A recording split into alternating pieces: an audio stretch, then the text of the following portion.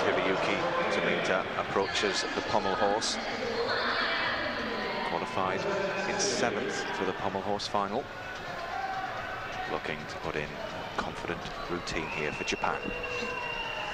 When he's on song, he can be a marvellous stabilising influence. So much depends on this first routine. Going well. Got a Russian between the handles and more Russians on the end. Those are stretch circles with backward turns. Nice, giant travel there. Standard Sivado. Little bit of skewing, Matt, with one hand in front of the other there. And again, and if the judges are on the ball, that'll be three tenths every time. But he's going through. That's the the crucial thing about Tomita. Makes the dismount. A great start for Japan on pommels. One routine down for them, two to go.